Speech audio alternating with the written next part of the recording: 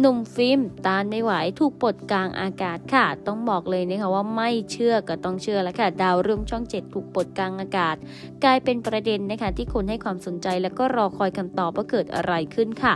มีผู้ใช้อินสตาแกรมออกมาโพสต์ภาพของหนุ่มฟิล์มนักแสดงจากช่องหลากสี พร้อมเผยว่าเจ้าตัวเนี่ยถูกปลดกลางอากาศจากงานละครค่ะ โดยอินสตาแกรมดังกล่าว ฟิล์มกัญญกิจถูกปลดในทุกอนูฤทัยคาดว่าเปลี่ยนตัวเป็นบิ๊กนัทัศชัยค่ะ โดยภายหลังจากที่ข้อความดังกล่าวเผยแพร่ไปมีชาวเน็ตหลายคนเข้ามาแสดงความคิดเห็น พร้อมตั้งคำถามว่าเพราะอะไร หลายคนสงสัยว่าเป็นเพราะว่าข่าวเช้าหรือเปล่า บางก็บอกว่าถ้าไม่เปลี่ยนก็ควรปลดออกจากสังกัดเหมือนคนอื่นๆ เปลี่ยนทำไมไม่น่าเลยค่ะ ฟิล์มก็เล่นละครดี แต่เสียเรื่องข่าวอย่างเดียว ข่าวกับผู้หญิงแน่เลย เรียกได้ว่างานนี้ก็เป็นไปต่างๆ นานาค่ะ ก็คงต้องรอให้ทางด้านของช่องเองเนี่ยออกมาชี้แจงเพิ่มเติมแล้วค่ะ กับล่าสุดนี้หนุ่มฟิล์มมีการเคลื่อนไหวนะคะ โพสต์เพียงภาพตัวเองกับวิวน้ำตกค่ะ จากกรณีของเรื่องที่เป็นข่าวนั้นนะคะ เวลาต่อมาเจ้าตัวชี้แจงว่า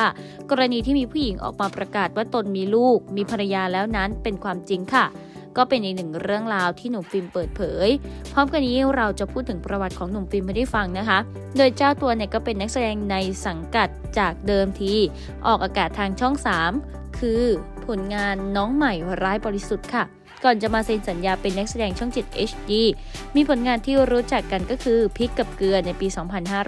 2564 จนกลายเป็นพระเอกดาวรุ่งช่อง 7 HD และมีผลงานกันอย่างต่อเนื่องค่ะกำลังจะมีผลงานชิ้นใหม่ก็คือทุกอนูรทายก่อนที่จะมีการประกาศออกมาว่า ฟิล์มนั้นถูกปลดออกมานั่นเองล่ะค่ะ